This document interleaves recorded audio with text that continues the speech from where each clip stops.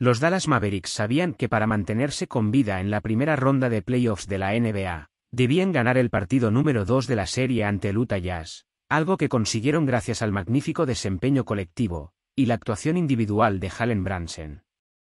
El guardia de cuarto año tuvo el partido de su vida en postemporada, al anotar 41 puntos, además de 8 rebotes, 5 asistencias y 2 robos, lanzando 15 de 25 en tiros de campo, 6 de 10 en triples, y 5 de 7 en tiros libres.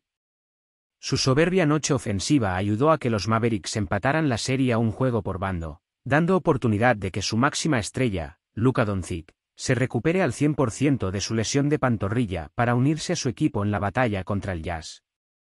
Dallas demostró por qué fue el cuarto mejor clasificado del oeste, con cada uno de sus elementos dando un paso adelante con la ausencia de Doncic, empezando con Branson, así como Spencer Dinwiddie, que anotó 17 unidades, y repartió 6 asistencias.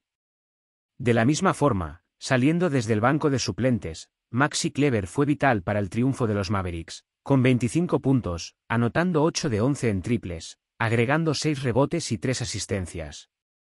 Por parte del Jazz, Donovan Mitchell fue el mejor con 34 puntos, seguido por Bojan Bogdanovic con 25, y Jordan Clarkson con 21 desde el banquillo. El siguiente duelo será el próximo jueves 21 de abril en Utah.